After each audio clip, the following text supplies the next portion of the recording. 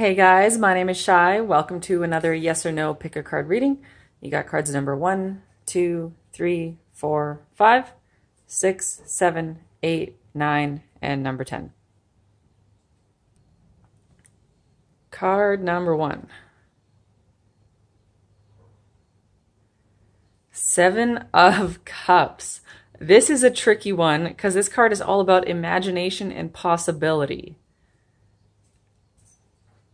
Honestly, I can't give you guys a yes or no on this one. This is one of those maybe cards. When I pull the Seven of Cups, I know that all possibilities are open to me and that nothing is fixed. It's it's like the timelines are spread out before you and you get to navigate depending on your energy. So you have the potential to get a yes or get your you have a potential for your ideal outcome to manifest but you have to make sure that you are really resonating with that. This card reminds me of the law of resonance which would be what i think of as a better way of thinking about the law of attraction. You want to be no making sure you're sitting in your integrity sitting in your authenticity and like holding imagining and vibrating with your ideal outcome.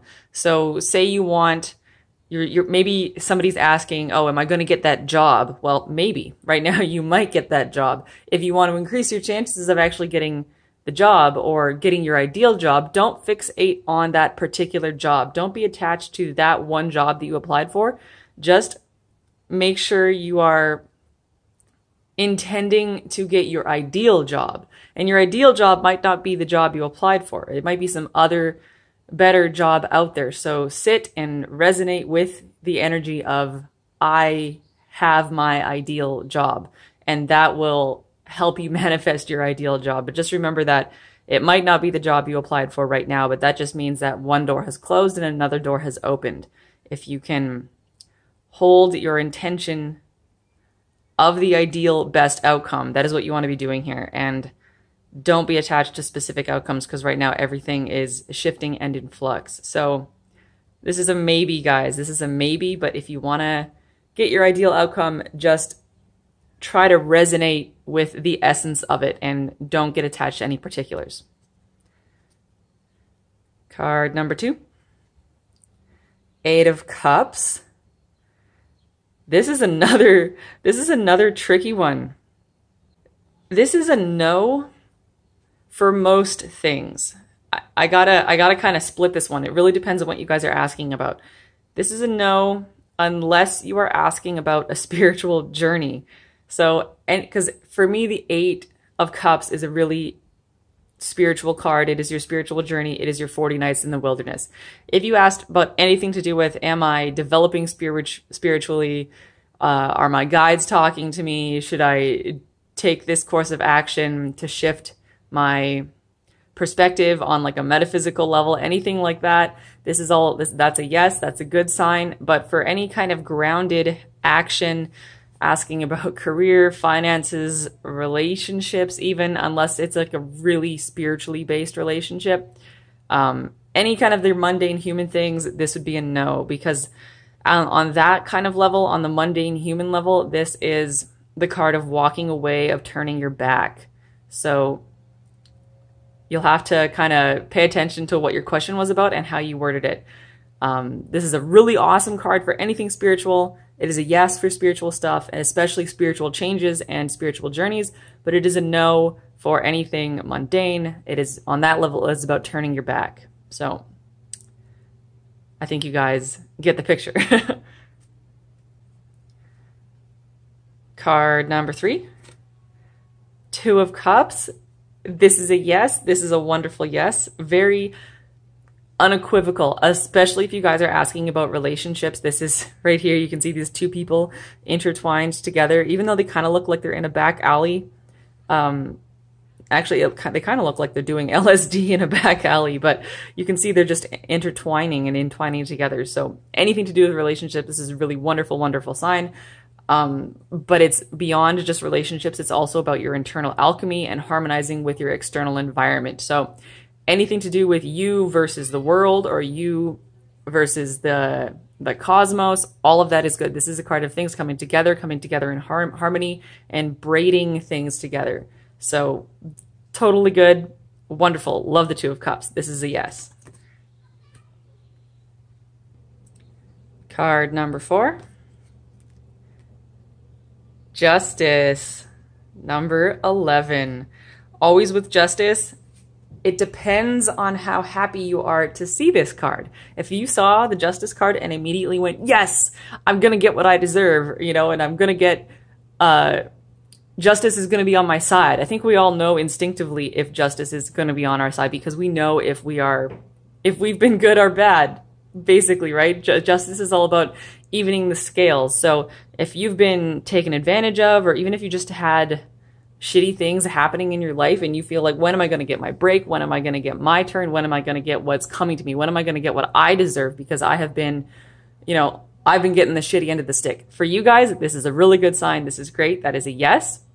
For everybody who is a little nervous, if you're nervous about the hammer of justice coming down, then this is a no. It's it then this is you know, if you're nervous about justice, then you probably have a reason to be nervous about justice. If you saw the justice card come up and you immediately thought about something that you'd done that you're not proud of, or that you wish you'd done differently, or that you feel like you need to come clean over, or that you need to set right, well, this is your opportunity to set it straight now before the hammer of justice comes down. If there's anything, I mean, it doesn't need to be a big deal. I always use the example of somebody ate the last slice of pizza or stole the last cookie out of the jar without asking anybody. If it's, if something is keeping you up at night because you feel guilty about it, this is your chance to come clean and set everything straight and wipe the slate clean and get your fresh start. It will work out better for you if you do that. Do not wait for the hammer of justice to come down. You, take make your first move, do what you need to do. You know what that is. Um, but for everybody who feels like they have been in lack and they need justice coming in on their side, then this is a great sign. And for those of for I think that's most of you. I like to think that my viewers are all, you know, authentic and in their integrity. And if that's you, then this is a yes. Card number five. Five of Wands this is a no. the Five of Wands is all about conflict, fighting, just people banging a bunch of sticks together. But the interesting thing about this Five of Wands is it's almost more of a show. So it's like these people are putting on a dramatization of combat. It is like martial dance. So it's still whatever's going on with you, there is everything feels like everybody is fighting and it feels really combative and conflicted. Uh, but the silver lining here is that nothing, everything is not as bad as it seems. This is kind of a surface level. People might be just acting out in these ways just out of habit, like like a force of habit. Like people are react being reactive and being combative just because that's how they've always done it. But I feel like the real conflict, the real problem, and the real impulse to fight is kind of gone. Like th- th- there's a hollowness to this conflict. It's not really real. It is a superficial conflict. So a no for this one, but it's also I wouldn't worry about it too much. Um, this is a passing energy, and I think once this conflict fizzles out, it's likely not to come back. This might be the last time you have to live out this conflict, especially if this is a repeating thing for you. Yeah, this is like it's a conflict that's really hollowed out and it's about to collapse in on itself. So don't worry too much about this though.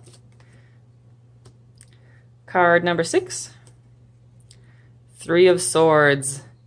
That's a no. You can just see this being sitting there huddled up with his hood up, head down, with this almost skeletal, grim figure.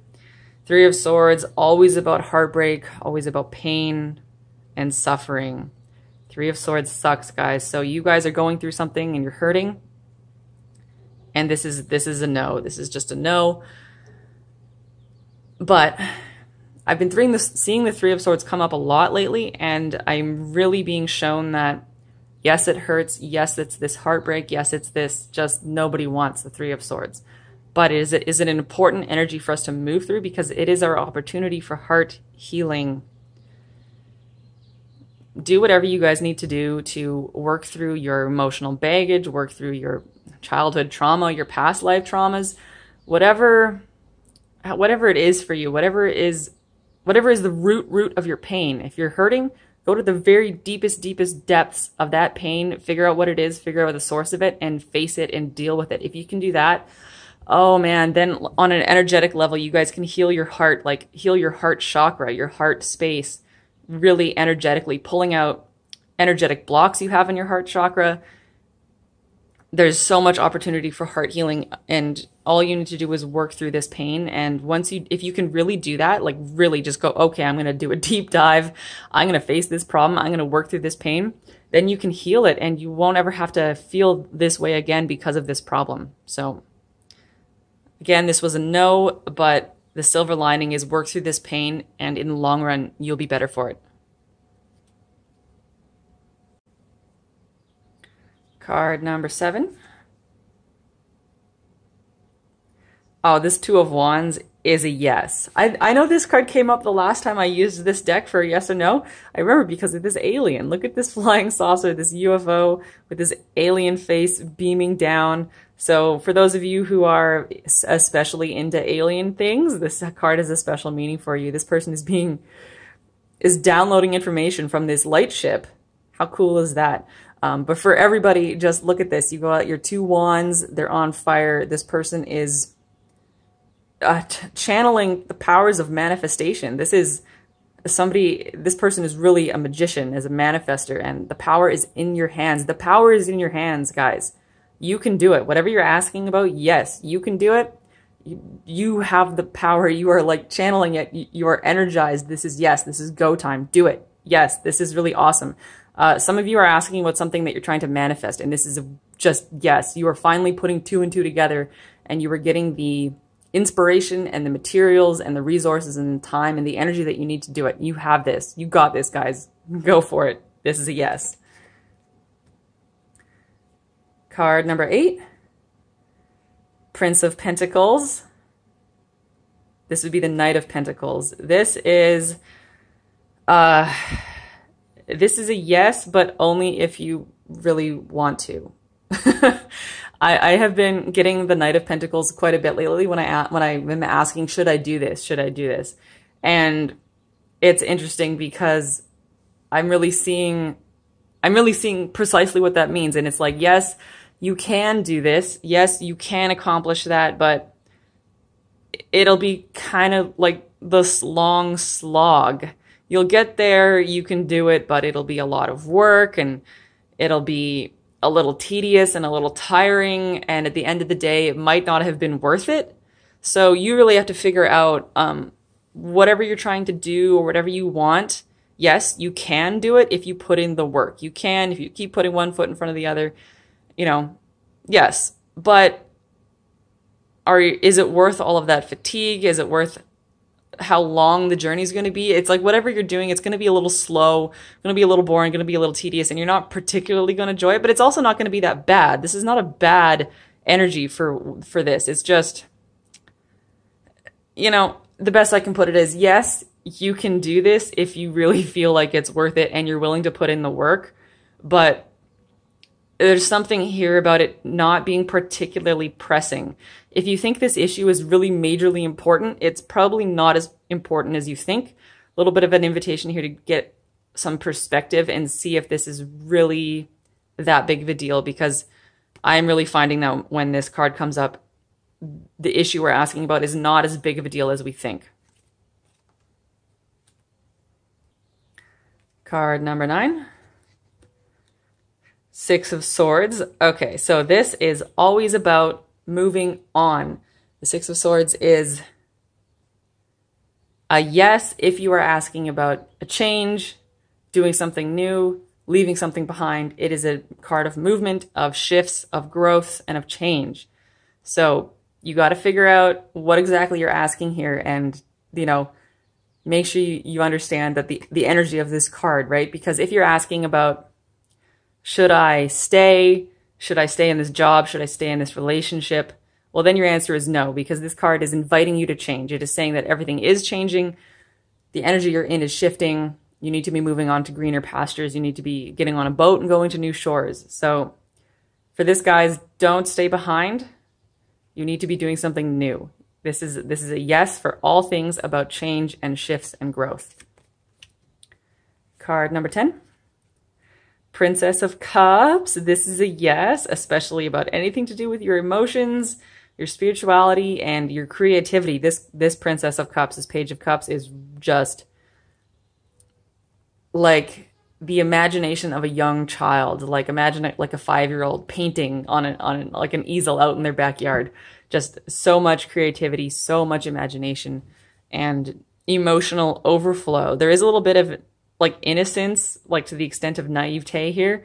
So depending on what you're asking about, be careful not to be taking taken advantage of because this this energy is very innocent, very easily manipulated and taken advantage of. So do watch yourself depending on what kind of situation you're in. But if you're asking about anything creative at all, anything to do with love and feelings and emotion, this is really good sign. This is a yes. This is somebody really being called to embody their creativity and kind of let out your inner child and remember that and tune into all of the love and inspiration in the world. Like this is somebody who can walk outside and just love a tree. like really just look at the tree and be like, I love you tree. You're amazing. You're beautiful. And to just enjoy everything that, that there is to enjoy. This is this is not a time to be super serious. This is not a time to be super analytical or controlling. This is a, this is a chance to be free. Like tap into how you were when you were four years old, like on your best day, on your best day as a four year old, when you were just free and with the people that you loved in a place that you loved. This is freedom and love and innocence. So this is a yes. And I think that's it, guys. Thank you so much for tuning in. I hope to see you again soon. Bye.